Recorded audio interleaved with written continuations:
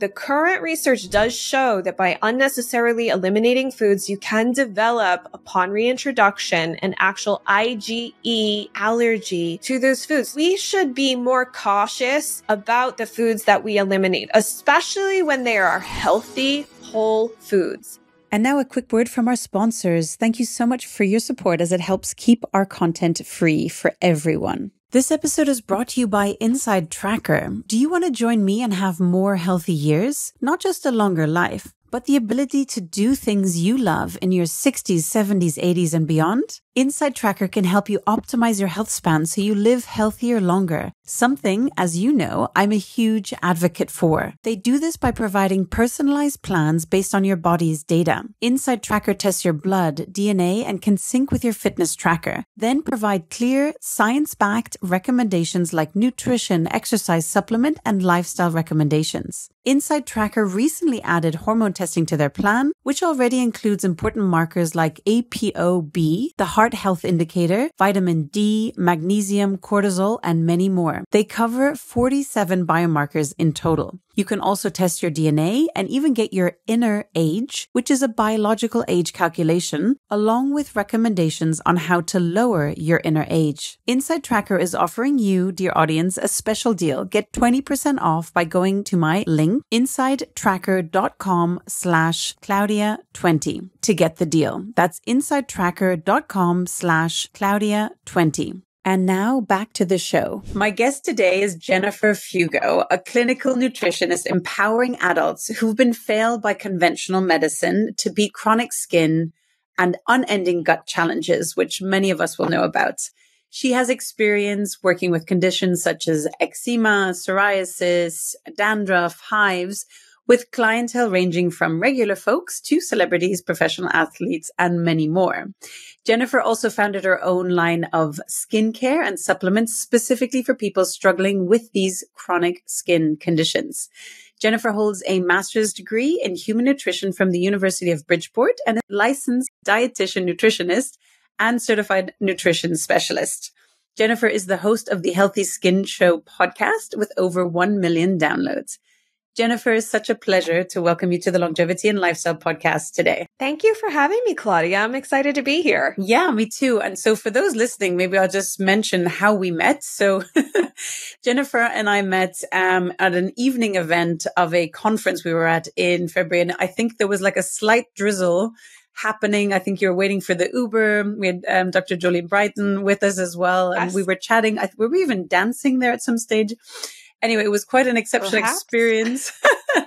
there was a cacao ceremony. Um, there was a DJ. So um, we had a very fun uh, meeting at a rather late hour that has brought us together on the podcast now. So um, such a pleasure we could make it happen, Jennifer.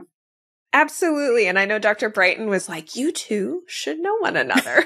exactly.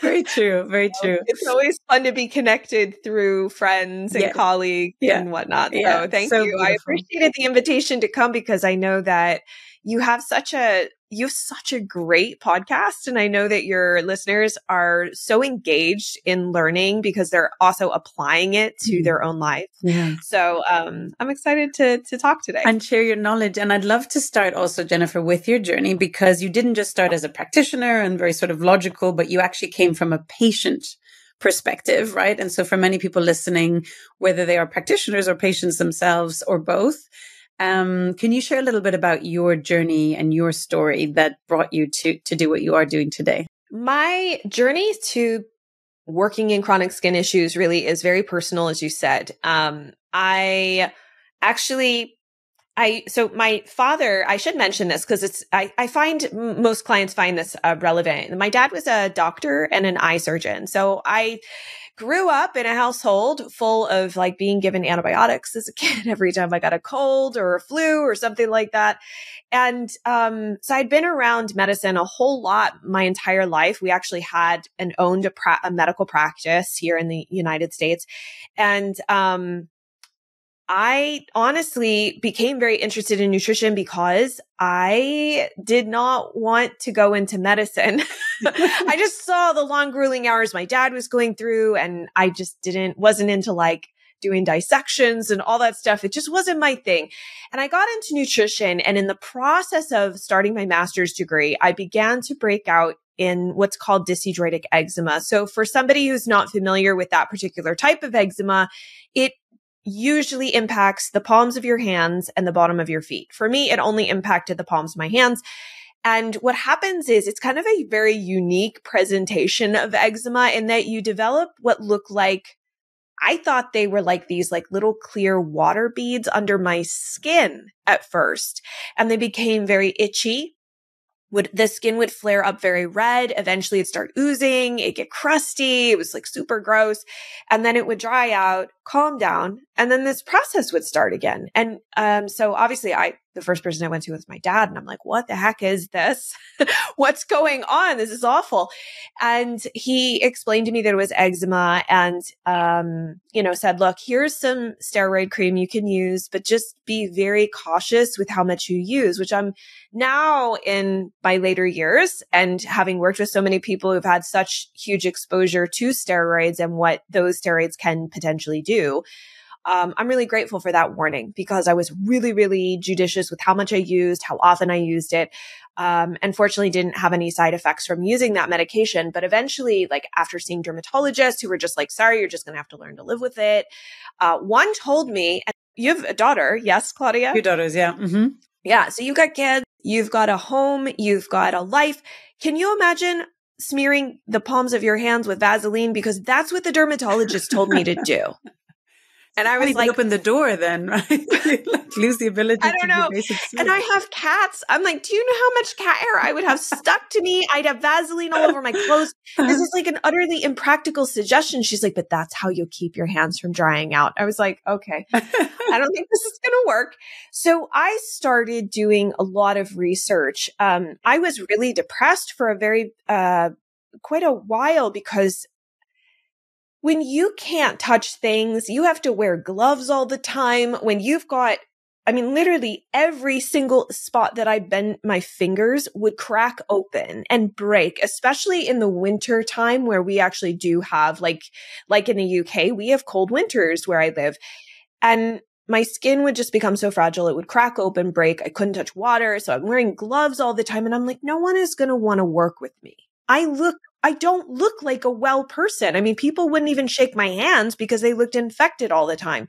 So I got to this place where I thought, how am I even going to do this? And I almost was actually going to quit my master's program. My husband was like, stop, take a step back, think about this from if you, the current you, was a client.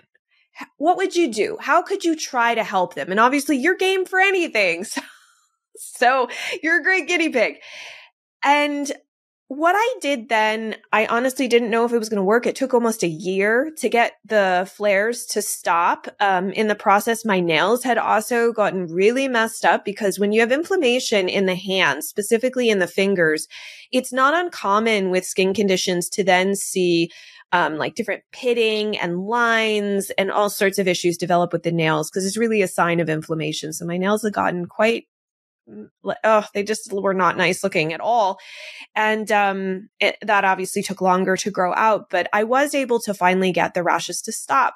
Now, if you were to say, what did you do? Because it's always a question I get. What did you do? And I'm like, okay, first of all, what I knew in like 2016 is so minute compared to what I know today. I would not do what I did because I was throwing everything at it. I don't know what worked. And to be entirely honest with you, there, what I have learned at this point in time is that there is a huge amount of factors that impact not only eczema, but chronic skin problems in general. And the skin, unfortunately, tends to be one of the later things eh, or the last things per se to clean up or clear up. It's not going to it's not going to fix. I, I, know we want these magical solutions and I can really deeply appreciate that as a person who has struggled with acne in the past. I've had, you know, obviously I've had this issue with my hands. I've had hidradenitis suppurativa in my armpits. I understand wanting these skin issues to stop, like full stop. What do I need to do?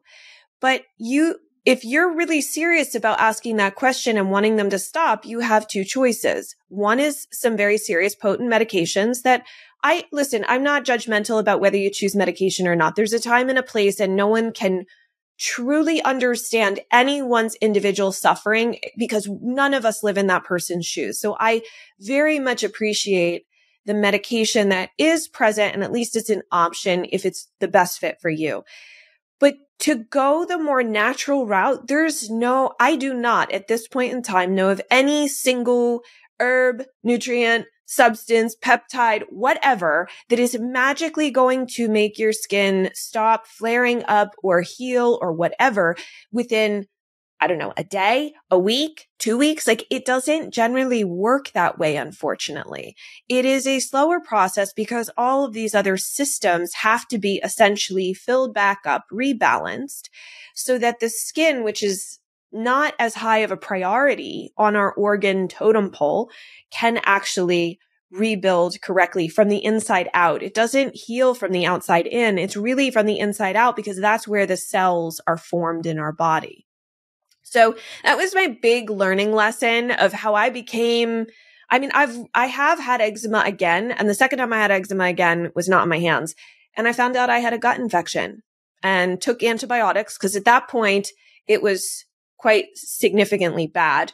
Uh, made the decision to do that, and it the eczema did clear up the second time, and it has not returned. So I I'm not saying it's all a gut problem, but I you know I'm sure you have a lot of questions for me today, so we can go into many different directions. But I just I just hope that if somebody's listening to this and thinking it's just a skin problem. What else can I put on my skin? There are some topical things that you can do depending on what you have but it's also an inside there's a, a, significant inside piece that is more so than just like do a liver detox or heal your leaky gut or whatever. It's it is more extensive than that i guess fortunately and unfortunately. So i like to give a realistic picture. Yeah no i i love that as well i think it's so important. I mean our skin is our largest organ um we forget that and the amount of also chemicals we do in terms of the creams we're putting on the sun creams i mean it's so important to be reading labels and what we're exposing. Even a lot of the makeup products, unfortunately, are all really, really top, toxic that we're ingesting each day. Um, so I guess a few questions are just off the back of that. And thank you for sharing the story. Um, the correlation with skin and gut health, I'd love to hear your view on that. And also, can you just share with people so they understand around steroids? and the impact of steroids because and you know also speaking from personal experience if i had something see a dermatologist oh, here's a steroid cream, here's a steroid cream. I mean, it's like auto- automatic almost. Um, and so just to help people understand the impact of that and why it should be taken in low doses and, and very, very cautiously. First of all, like these are huge topics. Yeah, sorry, exactly. I've thrown two questions at you. They're great though. They're great questions. So I think first of all, within with the gut, I think the way we have to look at this because most people say the gut is how is that connected to my skin? They're very distant organ systems. What's the connection? I think the fundamental thing that I appreciate in this process of interviewing guests on the Healthy Skin Show and reading research and being in like in clinical practice is that where inflammation starts may not be where it actually ends up and where we visualize or experience it. And I think most people who are interested in alternative health know that if they're struggling with autoimmunity. It seems like that hasn't quite trickled down to many other conditions, um, or at least that knowledge. So I'll give you an example.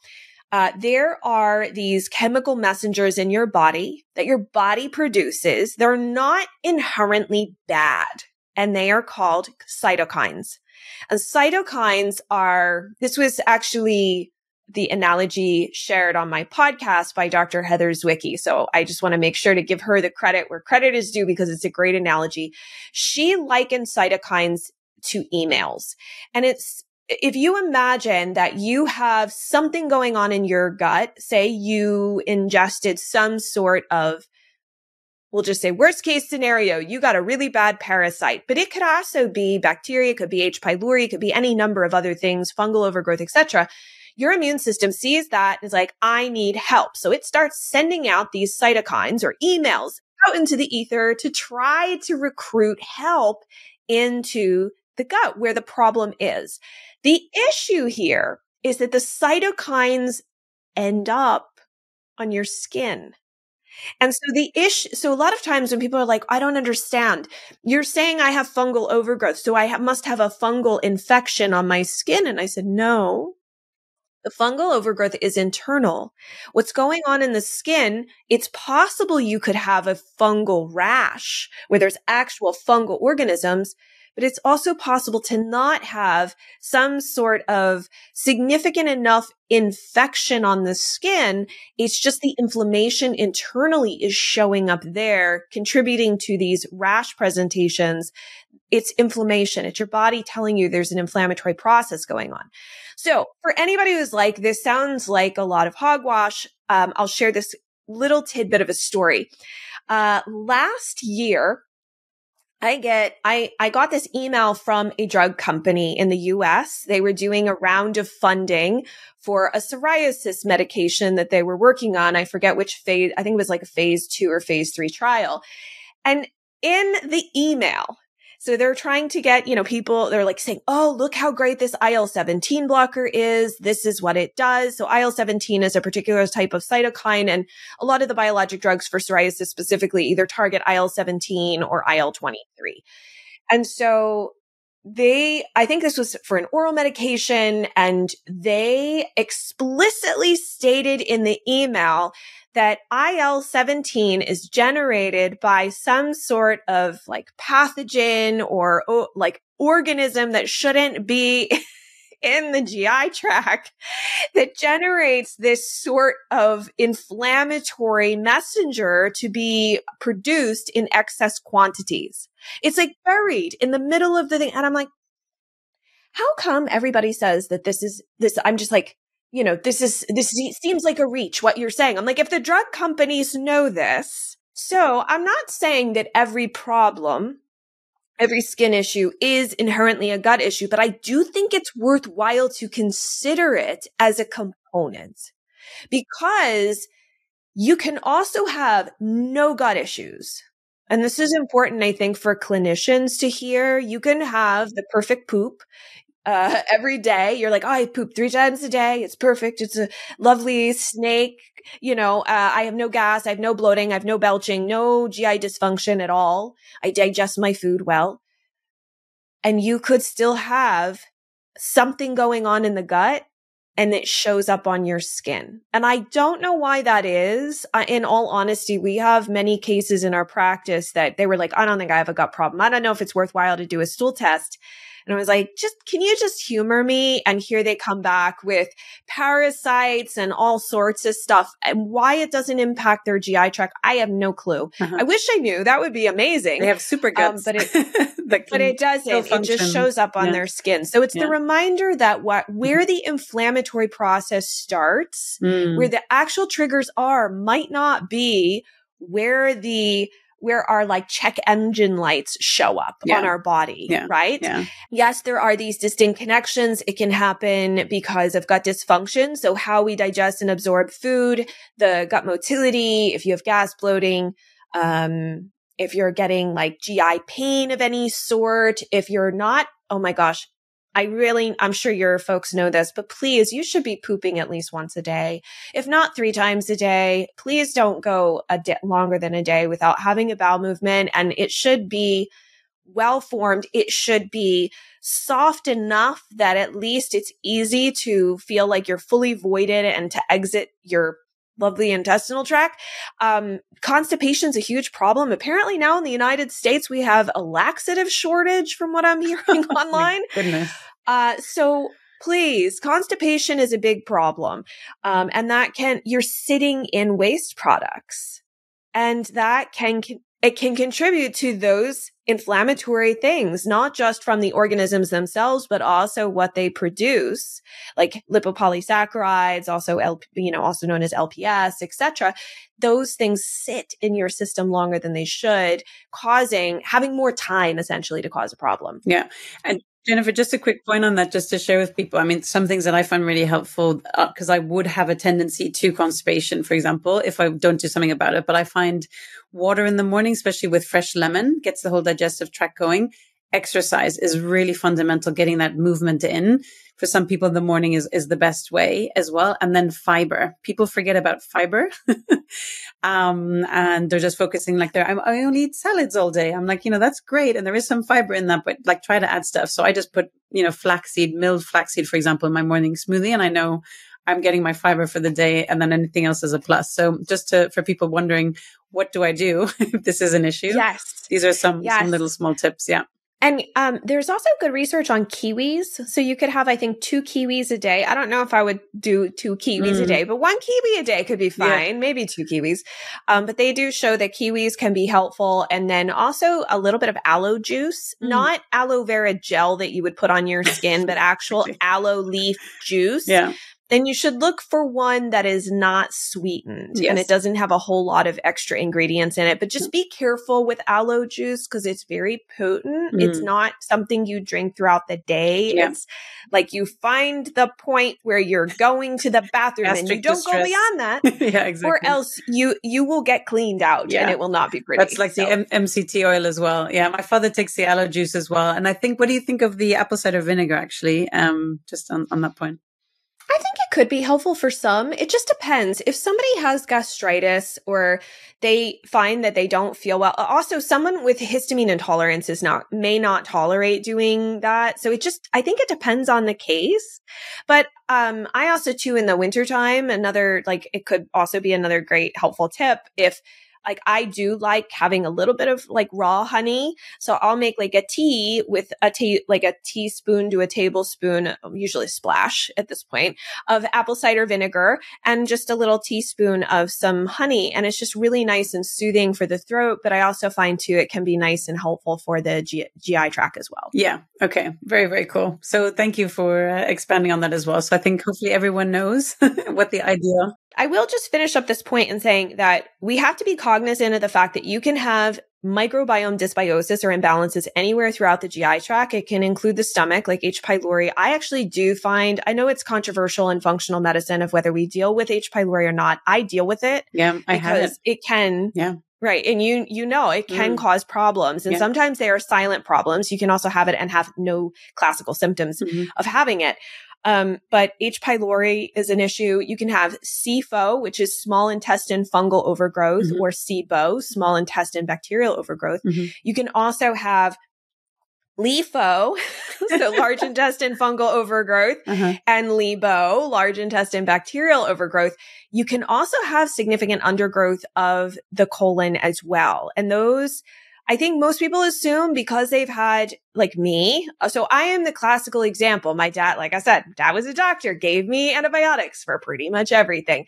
So my gut is more on the depleted side. It is a constant battle to try to improve it. It has been years and years. It is what it is. But you can't there I have had clients who have been on tons of antibiotics and somehow still have so much overgrowth. So you cannot assume that simply because you had a lot of antibiotic exposure that that means you're depleted. I think we, that's where tests don't guess is really important because how you approach undergrowth is very different from overgrowth. And so like, for example, if you wanted to deal with an overgrowth scenario because you have bad bacteria, we'll just call it quote unquote bad bacteria in the GI tract or dysbiotic or pathogenic, whatever. Um, that, those types of unfriendly bugs, if your gut microbiome is depleted, you will continue to deplete it by taking antimicrobial herbs and other things in of that nature. Um, so you do need to replete before you can start to deal with it. So it does really matter. And I think that's something that we'd like to go online and DIY some of these solutions, not realizing that we could actually do more damage and throw the gut into a further state of dysbiosis yeah. as a result of that. So this is a really important point. I really like that. Jennifer, I hadn't heard that before as well, but actually to think about replenishing and supporting it before you're actually treating the other one so that the whole balance doesn't completely go off. So Right. If you're in an overgrowth scenario where you just have like way too much bacteria, then that's a different story. We can go and start chipping away at things. But um I think we have to be cautious and and sometimes we have this on this, I will say a misunderstanding that because something is natural, it ca- can cause no harm.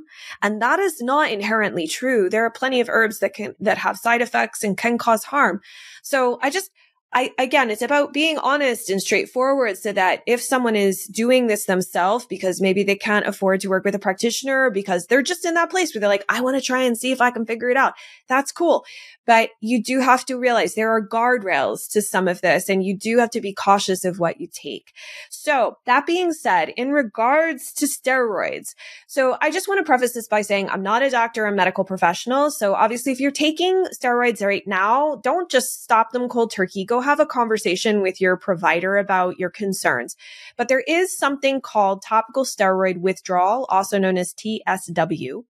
And it's try, we are trying, actually the UK, you guys are ahead of us on this front. You're, uh, I think it's the British Association of Dermatology. Uh, there's some sort of group in of dermatologists that have finally recognized topical steroid um, withdrawal syndrome as an actual problem, whereas in the U.S. we're still struggling to make that happen. Um, but what basically happens is that it doesn't matter how you are exposed to the steroids, whether it's through a nasal inhaler, whether you're taking prednisone pills, whether you get, have to get like, you're at the hospital and they have to give it, give you like an IV drip, or you're unfortunately slathering yourself with topical steroids. Um, it is important also just to clarify that topical steroids are not all the same potency. Some like hydrocortisone is a, I think one of the lower doses, whereas I think clobetasol is one of the higher ones. So just be aware potency does matter, but all of this impacts your cortisol because hydrocortisone is man-made cortisol. And so we i'm sure many of you listeners know there's a feedback loop with in the hpa axis. And so when you start adding in more cortisol there's more coming into the system your hpa axis is like hey uh adrenals you can like calm it down. You don't have to make as much.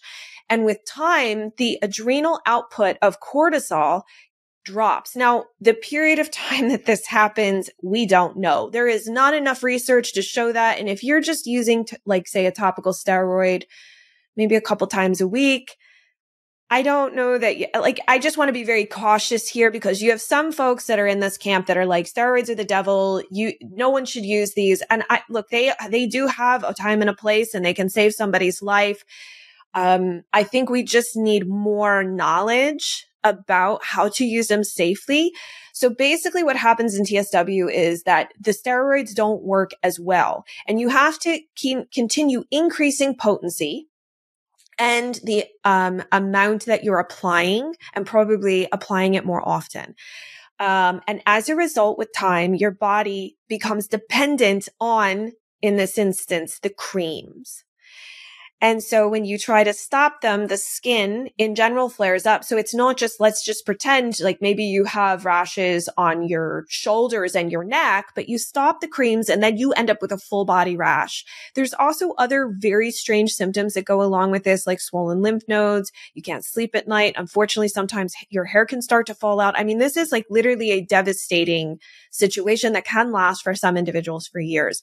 So if this sounds like something you're going through, um, there is a website you can look at called uh, itsan.org. So I-T-S-A-N.org. They're a great organization that advocates for people and they have tons of resources there. It's not something to take lightly. It's not like, yay, I know what's wrong. It could be like, great, I understand partly what's happening to me, but it is a devastating situation that is unfortunately drug induced.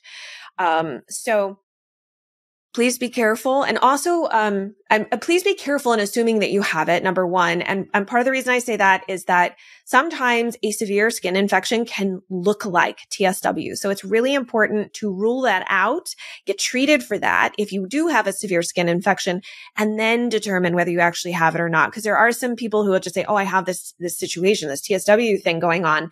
And in reality, they've actually had a really, really bad skin infection that was left untreated. So, um, so yes, uh, steroids unfortunately can have an unintended consequence that can take years to rebalance the HPA's axis um, and can cause some really unpleasant, um, if not devastating, uh, side effects. Yeah. Um, it's not to be taken lightly. I do agree there is a time and a place for certain things, um, but I I firmly believe in like looking at the root cause. You know, what is triggering that? We talked about gut health. You know, have you totally analyzed your gut health if you're having skin health issues? You know, is it in in, in a good form? Um, I'd actually want to ask you also about the tests as well and um, how often you recommend um, testing gut health. Is there particular tests you find particularly useful versus other ones? Um, can you share some information on that for people maybe thinking about going down that route? I would say that if you're being marketed a test on Instagram or Facebook, don't buy it. um, I would also say I can't speak for worldwide how this these tests are marketed and how they are allowed to be marketed. In the United States, no clinical lab is allowed to be marketed by Facebook ads and on Google. So you're not going to see an ad ever. And it's something that either you're going to buy through a testing website, like not the company's website. You can't ever buy it directly through the company. So for example, I do use uh, the GI map in my practice and I do like it. Um, but you can't buy it at Di- Diagnostic Solutions is a lab, unless you're a practitioner, you cannot get that lab through them. You have to go through these third party testing websites where they have a whole panel of blood work and hormone panels and all these different things. And that's all they do is just lab tests. So that's one way, at least in the, if you're in the United States to know that there's a red flag. And I would just also caution you. I, I recognize that we develop a lot of trust with the people whose email list that we're on and who we follow. But if the person is not a clinician and they don't have a practice, if they're selling you a stool test, I can tell you for a fact it's not a clinical lab. And there's a big difference between clinical labs. Like a GI map has clinical implications. It means we can build protocols off of it. It can be used to help di- by a doctor diagnose certain things something like these other tests that they're like, here's a 52 page report on all the foods you should eat and avoid. And here's the makeup of your microbiome. That tells you nothing. It's all cute, but it's a lot of money spent on nothing. And so I, you know, especially if you're, you're not well, I think that's where it becomes more challenging because you want to put your money toward what's actually going to help you get better. So in the UK, um, there is Invivo, has good testing. Um, also Health Path is another option as well. There's also the GI 360. I don't remember which lab um, makes that test. And there's the GI effects that comes from Genova. Mm-hmm. Um, all have pros and cons. well. Yeah. Mm-hmm. Yeah. Um, all have pros and cons. I, um, I don't actually like the fact that the GI effects from Genova requires you to pay extra money to get the H. pylori add-on and they just tell you whether it's positive or negative.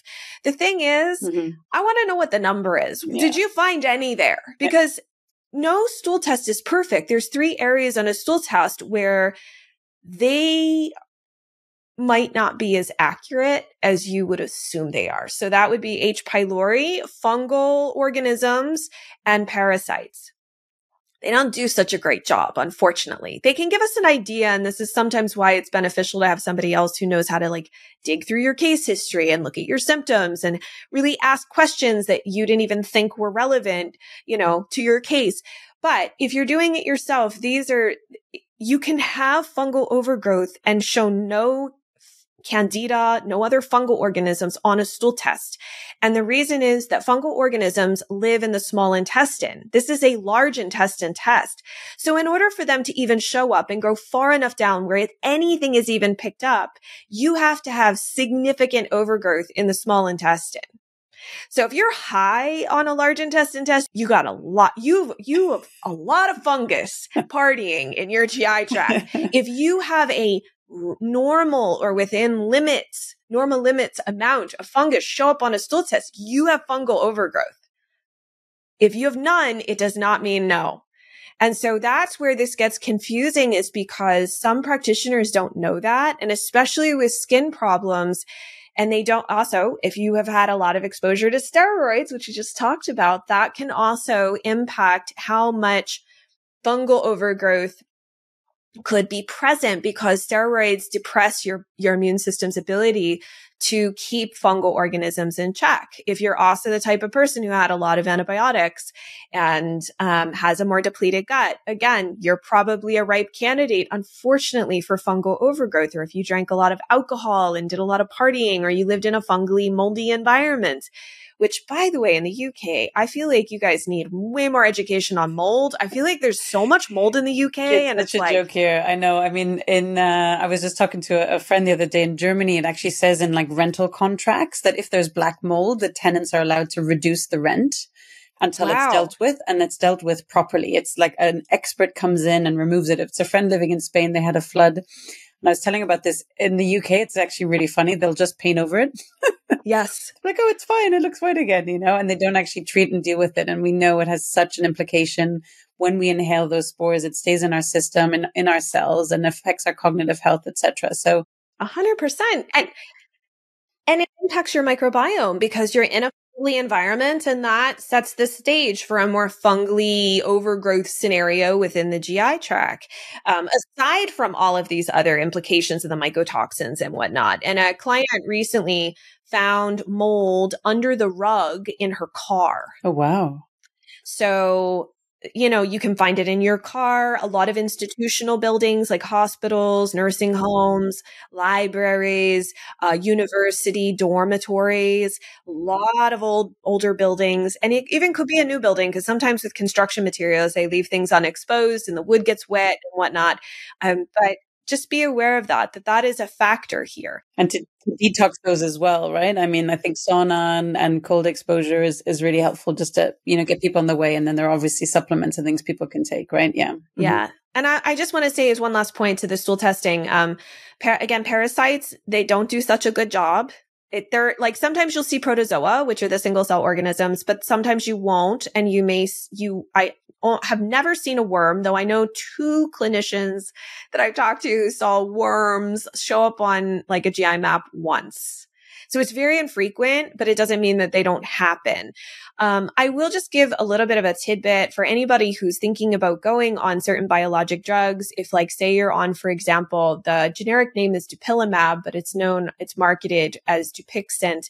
Um, I have found clinically that if someone is on Dupixent and it's not controlling and suppressing the rashes sufficiently, and you're still having to use steroids or tacrolimus or protopic or whatever to help control things, it's worthwhile to check if you have a helminth infection. So helminths are worms because it is contraindicated that and Adbry. I don't know if Adbry is available in the UK and I believe Dupixent is, but just keep that in mind. It could be a sign that there's actually something underneath the surface that shouldn't be there and it's contraindicated for use with helminth infections because it suppresses IL-13.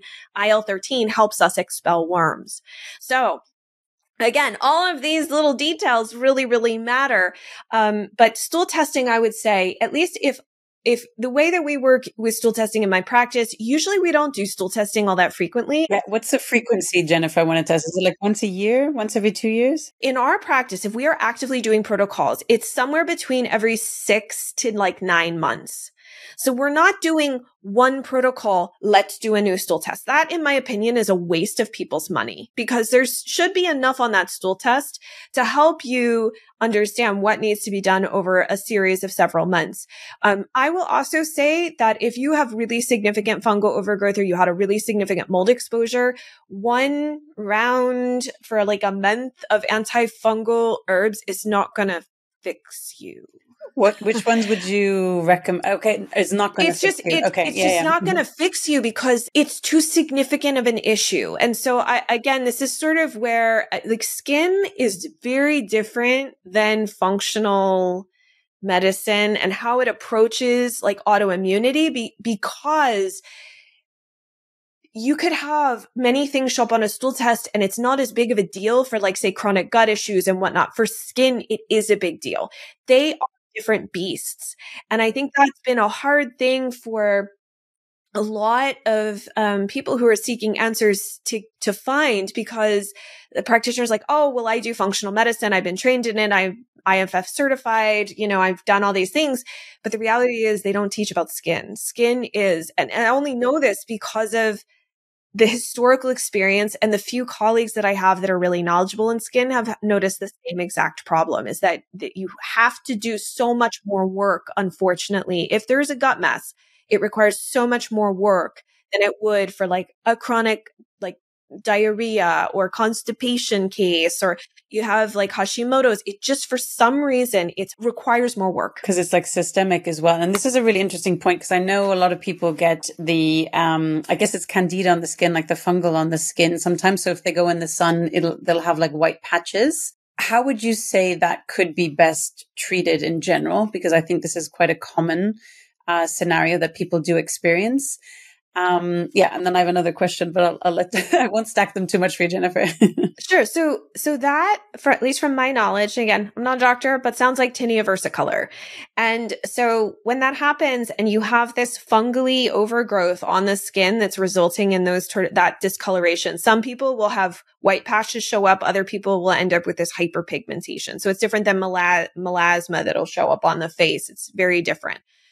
But that to me is a clear sign you have fungal overgrowth internally. So a lot of times people will try creams, but the, the creams sort of keep it at bay. I would potentially go back to the doctor. This is me. If it was me, I go back to the doctor and I'd ask for antifungal oral medication. I would start there. Then I would go on and continue working on reducing fungal organisms with probably a more herbal option. it is a gut problem initially because the gut microbiome, the way that it is sort of set up and modeled, for whatever reason, does seem to impact the way that other microbiomes show up. So if you have dysbiosis in the gut microbiome, it is not shocking, at least in skin cases, to see dysbiosis of the skin microbiome. So if you've got fungus and you can't seem to get rid of it on the skin with tinea versicolor, the most effective route I have found is sometimes it is bouncing back and forth between antifungal meds and antifungal herbs, going back and forth. Cause I will be honest, if it's really bad, sometimes the herbs are not sufficient and you do need some help. But good thing is that antifungal meds do not have as drastic of a gut microbiome impact like antibiotics do because they don't kill bacteria. They're only impacting the fungal organisms. Where you have to be careful is that some of them are hard on your liver and they can cause an elevation of liver enzymes. So that's where you want to ask like diflucan, fluconazole, those you, if you're if uh, it depends, but I would ask the doctor, can you check my liver enzymes to make sure that they a don't start off elevated because then you're not a you're not a good candidate for for those types of things. Um, and if they do get elevated, what how are we going to handle that? Now there are a lot of alternative options to dealing with that, but just be aware of that. That some do. Nystatin is the o- is one of the only antifungals that I'm aware of that will not um, cause an elevation of liver enzymes. Okay, that's that's really important to know as well. And I want to ask you because obviously it's very trendy now, and I mean I'm I'm in that pool as well to take mushrooms, right? So it's like the reishi mushrooms or the lion's mane, cordyceps, for example, for energy. There are different things. So, what is your view on the impact of that, and then essentially also on skin? Um, there are obviously a lot of benefits to it, but is there anything people should look out for so that they're not getting too much fungal exposure? So I don't consider them to be the same thing. Even though yes, they're fungi. Um, we have clients that we use, uh, especially for, for TSW people, cordyceps is really helpful, by the way. Um, but we use medicinal mushrooms in our practice. So I don't consider them to be, so A, I don't use the candida diet. I don't believe it's a really great template. Um, because most of the time you can, you can't starve yeast. I'm just going to say that. I think that's a really fair statement to make because of so many people who've tried the diet and it doesn't work and everything comes back when you try to reintroduce like a sweet potato. That's awful. I'd rather you be able to eat sweet potatoes or some type of healthy start carrots, you know, like healthy starches. Um, but I don't consider them in the same like they they don't have the same effect. So Tim in my book if you can tolerate them, then great. I don't have any issue with that. Enjoy them however you can to support, whether it's like you said, your energy, your stamina. Um, they have some reishi, especially has some immune system modulating capacities. Again, not nothing magical, but it can be very helpful in a combination of different things.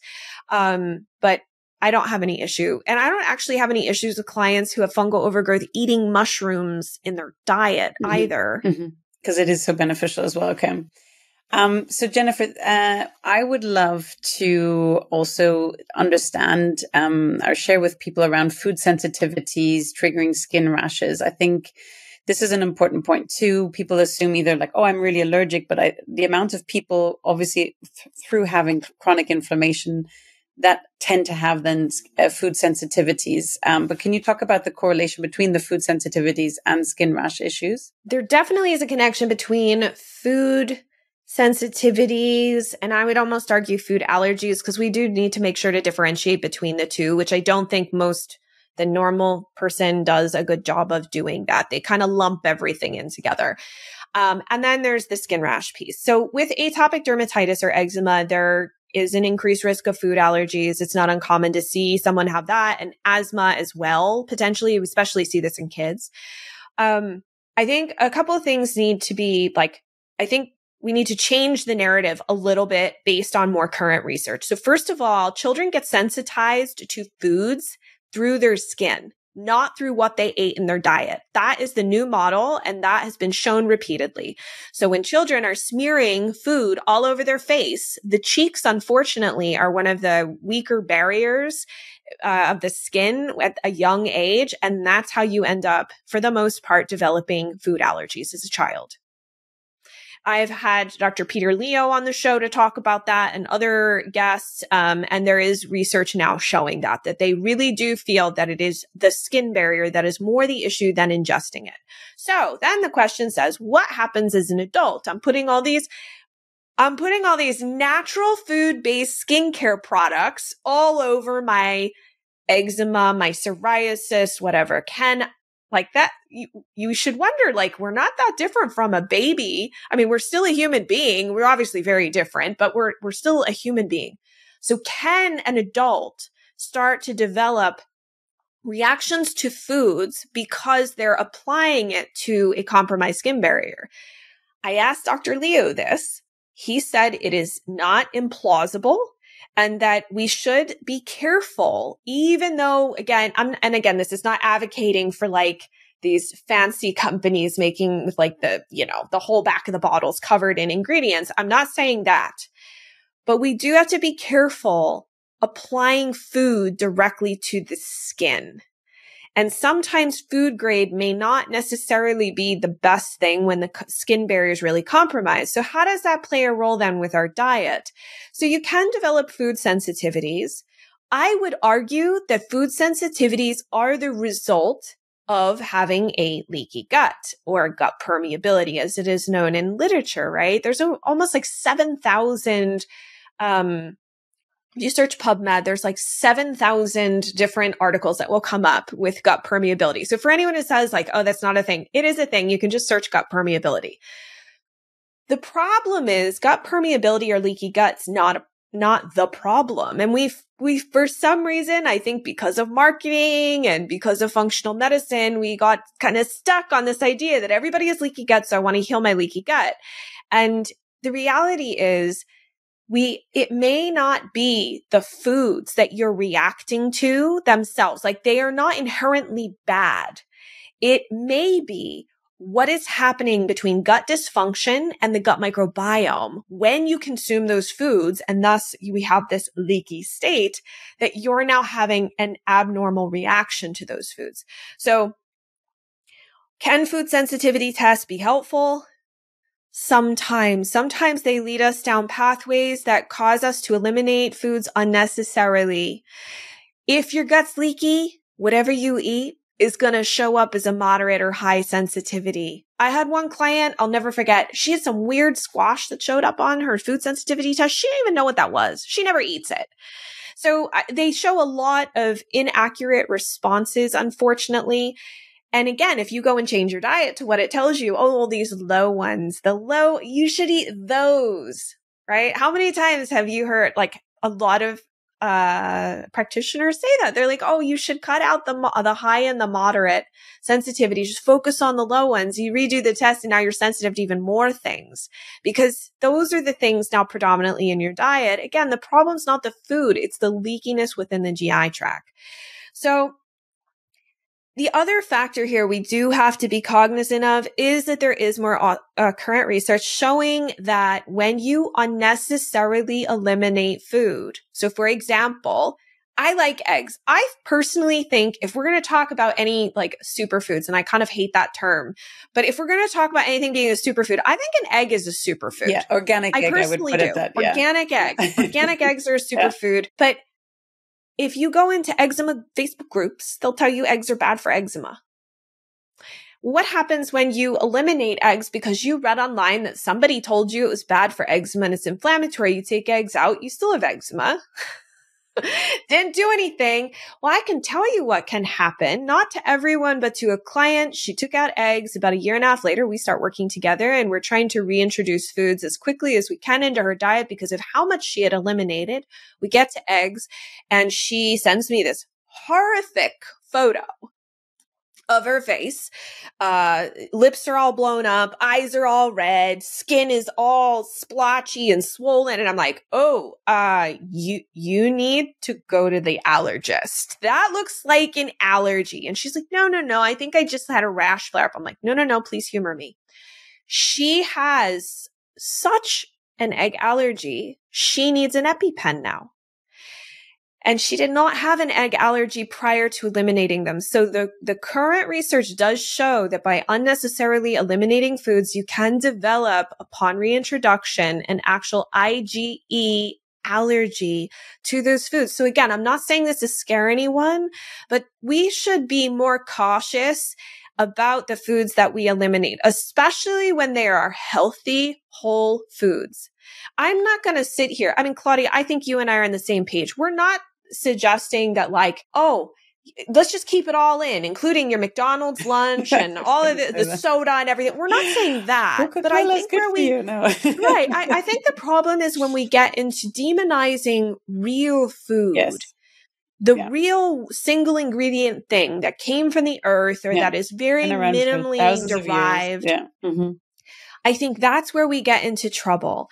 And the price of trying to heal your skin and your health in my book is not it shouldn't be an eating disorder or food fear or because just because your skin say clears up most people still are afraid to go back and eat foods. They're afraid to reintroduce foods. So they don't. And they stay on these very restrictive diets and our culture perpetuates this idea. If you go on Instagram, it's very easy to find all of these influencers with a million followers who are like, look, I only eat these things. Everything else is inflammatory. And we glorify this idea that the smaller our diet is, the more restricted our diet is, it somehow equals health.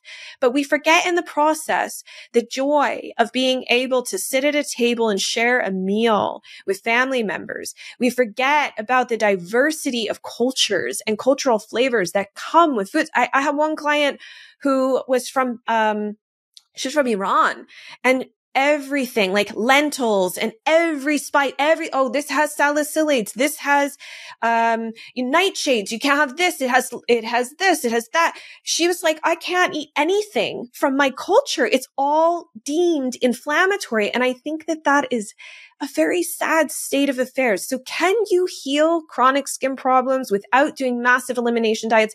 Yes that has been a big um, push for me. Uh, I did some research with UC Davis. We interviewed 600 people, um, and it, they all had chronic skin issues. And we asked about what happens when they eliminate foods, and they all acknowledged um, to varying degrees. But and I, am happy to share uh, the paper with you because it yes, was published.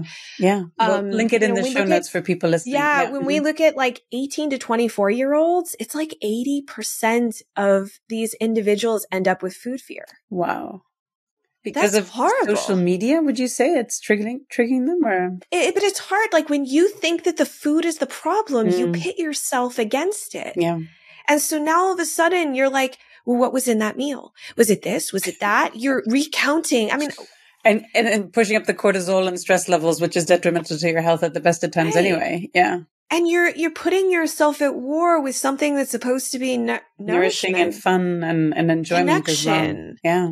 Ex- yeah. Especially the fact that long term it it creates this trauma response that you start to have around food, which is not healthy. It's not good. Um, so I just I think that's been one of my big big missions over the last couple of years is to remind people that the way that we can address these things. So again, it's not about saying let's keep all the junk food in, but what are we doing when we're then saying strawberries are bad? Um, I, I mean, like I literally get, oh, it's strawberries. They're, they're bad for you. Um, you know, or any number, like, and don't even, we won't even go down the rabbit hole of like meat versus all this other stuff. I mean, we could go in many different directions, but I think it's like, what are we doing? We're missing the boat here on all the other factors that play a role in this inflammatory picture. And yes, you can absolutely have environmental allergies that can be causing things. You can absolutely have some sort of exposure, or even actually, you can end up with rashes or psoriasis and any number of things um, as a result of certain medications you're taking. So you should always look at the side effects of the meds you're taking because, like, uh, I think um, certain blood pressure medications can actually trigger psoriasis. So, I mean, yeah you know there there the, definitely can be the detergents and things that people are using as well cleaning products you know it's just being so aware of that. I i have had to re-educate we have a lovely lady who comes and helps clean the house and she's always telling me to buy these super strong products and i'm like i refuse. We use the environmentally friendly ones and I, I try to explain to her to encourage to other families like she's inhaling them but we're inhaling it. You know you put these sprays on your desk and then you sit there for hours and you're inhaling these toxins as well. So there are different factors, as you were saying as well, with black mold as well, that it's really important to take into account. And, you know, the diversity of food is so important. I know people here also, they're like, oh, I've eliminated any, everything and I'm just doing this, that, and the other. I mean, thousands of years humans existed in diversity. You know, as Dr. Mark Hyman recommends as well, have 30 different colors of organic, ideally vegetables, some fruit each week as well. So it's literally just staying on the outside of the supermarket, avoid those inner aisles as much as possible and have that diversity um, too. So yeah, I, I, really like your your mission, Jennifer, and, and, helping people understand that these crazes and uh, trends of just focusing on one specific thing or even eliminating vegetables and just eating meat. I mean, you know, we're we're not raised to to do that, and and um, yeah, so big big debate. I know a hot topic for a lot of people as well. Jennifer, I'd like to um, ask you about the before we finish up today the skin microbiome. You mentioned it a few times as well some people might be scratching and saying, well, hang on, I know there's a microbiome in your scalp as well, right? But um, what exactly is a skin microbiome? And how related is it to the gut microbiome, which I'm sure people are much more familiar with? Um, and how does one regulate it to, so that it stays in an optimal state? So, the skin microbiome is this whole environment of organisms, and it can include bacteria, fungus, I, viruses, mites, all sorts of things um, that live on the skin. They tend to be different strains, specifically for like bacteria, for example. They tend to be different strains than what's living in the gut microbiome. The reason is that they tend to be lipid loving. So think about it. Our skin is oily, right? We, we produce sebum. And so a lot of times the organisms that live on the skin, depending on the different areas. So there are maps that you can find in literature where they'll show you that like the sebum heavy areas. So like your scalp, scalp, the eyebrows, around the mouth, the chest, where people a lot of times can end up with dandruff or seborrheic dermatitis, are predominantly more malassezia, which is a um, commensal yeast that normally lives on the skin. Um, and then other more like sweaty areas and whatnot have a slightly different makeup of the different uh, classes um, of bacteria. And so um, they're lipid loving because that's what they thrive off of. Whereas with the gut microbiome, they're really thriving off of fiber right? And they produce short chain fatty acids in the GI tract, like butyrate, which is really important for gut permeability or reducing gut permeability and tightening up those uh, junctions between the cells and whatnot. So it is different, but I do believe that there are communication signals between the two. That's why I said we've noticed with clients who have had recurrent skin infections, where as we work on the GI tract and the gut microbiome starts to slowly go back to a more healthful balance, they usually show a reduction in the number of times that the skin like how susceptible they are basically to skin infections. Now, look, if you go and lay on a mat at the gym that has MRSA on it, which is the that those antibiotic resistant um, uh, kind of uh, iterations of Staph aureus, that's a different story because that's an external contact that could be a problem for you. But if it's not that, and it's literally just that you just keep getting staph infections, or you can also get strep infections on the skin. You can have, as you shared, uh, the tinea versicolor. You can have fungal overgrowth on the skin. Um, we do have malassezia. Uh, you can react to malassezia. Some people do develop a reactivity to it, but more with dandruff and seborrheic dermatitis. I find that it's reactivity internal. So your body becomes reactive to yeast internally and then is seeking yeast, trying to do, you know, be the good immune system for you and it starts attacking things it's not supposed to. And so it'll go after those areas where malassezia predominates. Um, but yeah, the, t- the skin microbiome is really important. And so is the pH of your skin. You do not want alkaline skin. Actually, you don't want an alkaline colon either. Your colon should be acidic and your skin should be acidic. Uh, the skin should stay within a range of 4.5 to 5.5. So water is usually somewhere around a seven, soaps around a nine. Um, so one easy tip that people can use after, say, you wash your face is to, so number one, what you wash your face face with does matter, right? Because if we're increasing the pH of the skin, we actually open the skin up to becoming more dry and to allow organisms that are un- unfriendly, like Staph aureus, to overgrow because they actually like a higher pH or a more alkaline pH. So if anybody's like, I need every area of my body to be alkaline, that whole alkaline acid diet thing, um, you do not want every area of your body to be alkaline. That is not good. And skin is not one of those things. You want alkaline. So, um, hydrosols can be really helpful. Um, a hydrosol can be made from like plant materials. So you could see like a rose hydrosol, geranium hydrosol. There's all different types. And it's, it's basically when they go to extract other things to make the essential oils, what's left over, that water essentially is usually that that's usually what a hydrosol is. And they typically are of a more um, acidic pH. And so after you wash your face, you can spray your face with the hydrosol and um I like to just like kind of tap gently over my face very light with my fingertips and then apply any other creams or anything like that. Um if you're also very itchy, uh, another quick tip um uh, witch hazel uh, hydrosol, not with alcohol. Try to get like the lowest amount of alcohol in it, but witch hazel can be really effective for like an itchy scalp or itchy skin. If, you, but if the itch is because you have an infection, that's a different story. Please go get treated for that. But if you're just itchy, witch hazel, uh, hydrosol can be really helpful. You have a favorite brand of hydrosol that you say is like always very pure? Okay. I don't. I mean, mm-hmm. everybody's all over the world. So I would just look for things that if you can get organic would be great. Um, and again, try no alcohol if possible, but you do because it does come from a, pl- a process involving plants. I would really stick to whatever the use by date is. I wouldn't use something that's like two years old. If it hits the use by date, toss it. Perfect. Okay. What are three things, Jennifer, that listeners can do right now to start rebuilding their healthier skin? And what are things that they should definitely be avoiding? The first thing I would say in terms of uh, rebuilding your gut is something called ghee. I don't know if you talked mm-hmm. about it on sure. your show yeah. before, but ghee but has butyrate. Rebuilding healthy skin, healthy skin. Yeah. Yes. Well, we'll because, Okay. Mm-hmm. Because ghee is really helpful. We eat ghee and it adds butyrate to the GI tract that helps to kind of seal we're helping as best we can to try and seal up the gut permeability. And butyrate is one of those things that's necessary for that because the inflammation happening in the GI tract that spreads out to the skin, we want to try and keep that contained as much as possible.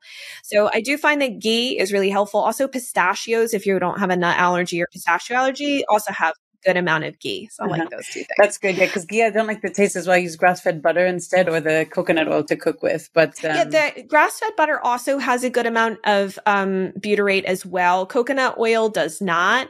Um, but yeah, those are those are two great options. Um, the other thing that I would say is I would try to simplify your skincare routine as much as possible, especially if your skin barrier is really damaged. Um, especially if you've got really dry, red skin. So with like rosacea, for example, you should not topically be using any anti-aging. I know that's awful, but like the anti-aging, um, ingredients like retinol and the vitamin C serums and everything can be really aggravating for rosacea. And I would also argue that if you've got rashes on the face, you shouldn't be applying those things to the face either. That would be something not to do. So simplify the skincare regimen. Find some sort of simplified soap, like um, sometimes like a rose clay soap or a black clay soap can be helpful, um, especially if you have a lot, if you're very oily, if you're really, really dry, maybe a, just a glycerin bar that can be a little bit more hydrating. Um, maybe sometimes you're just using water, unfortunately, because like you just can't tolerate a whole lot more. Um, and then I would also, when you get out of the shower, before you're fully dry, so you pat your skin dry, but you're still kind of slightly moist. I know everybody hates that word, but moist. Um, that's actually the time to apply your moisturizers because you lock in the moisture that is currently hanging out in the skin area. Not to wait until you're like entirely dry and an hour later or 20 minutes later, you then apply the cream. That's the time. Towel dry off and then apply your moisturizers. And that does help. In terms of like other topical things, if you do have any type of like wounds or rashes, you could also try something called hypochlorous acid. Uh, it is naturally made by your white blood cells, uh, specifically your neutrophils, and it can be used topically to help with uh, microbiome dysbiosis of the skin. It can help with uh, the pH of the skin. I wouldn't use it like all the time because unless you have a real significant dysbiosis problem, you don't want to just like be killing everything on your skin. It's not caustic. It's not harsh.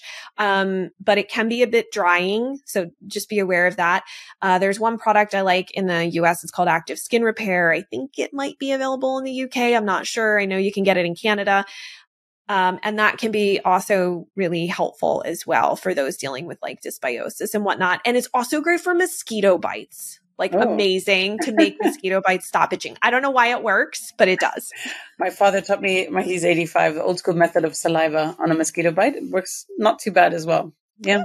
Oh, I don't know. it neutralizes it as well. So an old school way. Jennifer, if you could live to 150 years old with excellent health, how would you spend it? I would spend it with the people that I love, snuggling with my cats, and every day being outside in my garden with my fruit trees and whatnot. That is a hundred percent what I would do because that's what my my great aunts used to do. They used to spend time with the family, eating together, and being out in the garden, hands in the soil, and that kind of stuff. That's yeah. what I would do. Good for your gut bacteria as well. Gorgeous.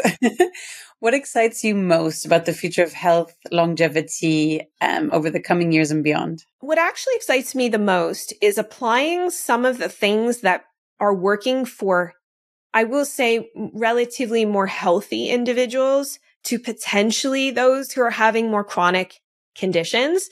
So I am very curious about potentially using peptides for chronic skin problems.